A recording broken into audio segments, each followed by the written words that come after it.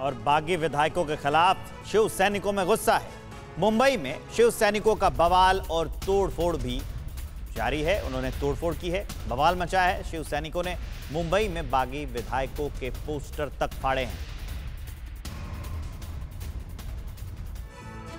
महाराष्ट्र में प्रदेश की उद्धव सरकार पर खतरा, गहराता जा रहा है। प्रदेश में जारी सियासी संग्राम आने वाले दिनों में सड़क पर दिख सकता है। माना जा रहा है कि बागी विधायकों के खिलाफ बड़ी संख्या में शिव सैनिक सड़क पर उतर सकते हैं, जिसको लेकर पूरे महाराष्ट्र में अलर्ट जारी किया गया है। महाराष्ट्र में सभी थानों, खासकर मुंबई के पुलिस थानों को महाराष्ट्र डीजीपी ने अलर्ट पर रहने का आदेश दिया गया है। पुलिस सूत्रों की माने तो उन्हें अलर्ट मिला है कि शिव सैनिक भारी मात्रा में सड़क पर उतरकर हंगामा कर सकते हैं।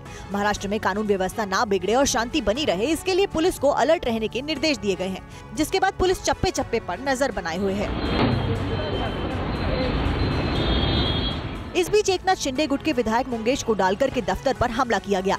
मुंबई में कुर्ला इलाके में कुछ शिव सैनिकों ने मुंगेश कुडलकर की तस्वीर वाले होर्डिंग तोड़ डाले।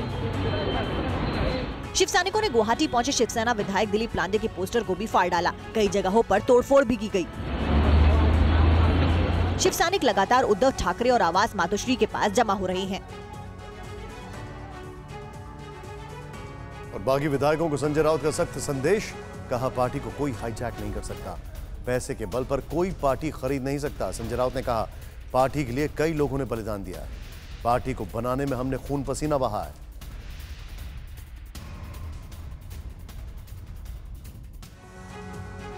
महाराष्ट्र में चार दिन से जो सियासी महासंकट दिख रहा है, वो और गंभीर होता जा रहा है।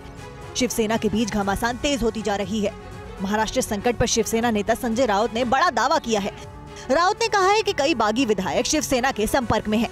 उन्होंने ये भी दावा किया है कि शुक्रवार को शरद पवार के सामने 10 बागी विधायकों से बात हुई थी।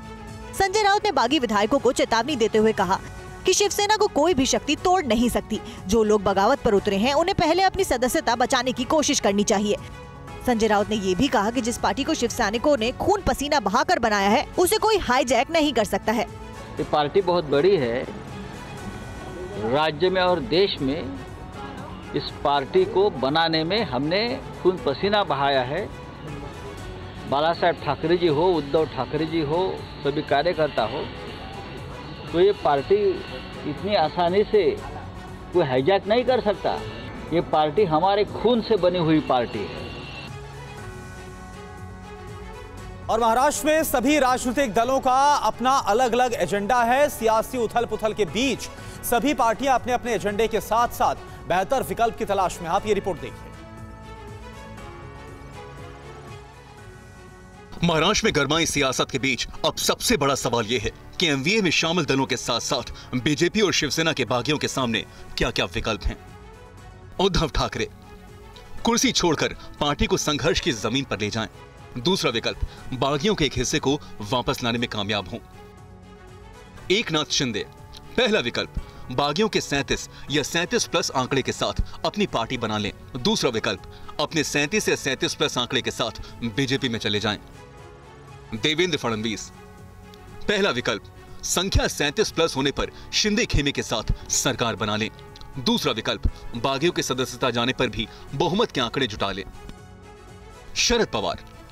पहला विकल्प, अपने करिश्मे से महाअगाड़ी गठबंधन को फिर से बहुमत में लाएँ। दूसरा विकल्प शिवसेना से अलग होकर बड़ी क्षेत्रीय पार्टी बने या बीजेपी के साथ सरकार में शामिल हो जाएँ। वही कांग्रेस की स्थिति वेट एंड वॉच की है।